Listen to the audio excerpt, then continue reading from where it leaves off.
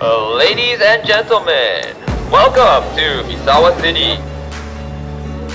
Thank you for coming to the Misawa American Day 2023.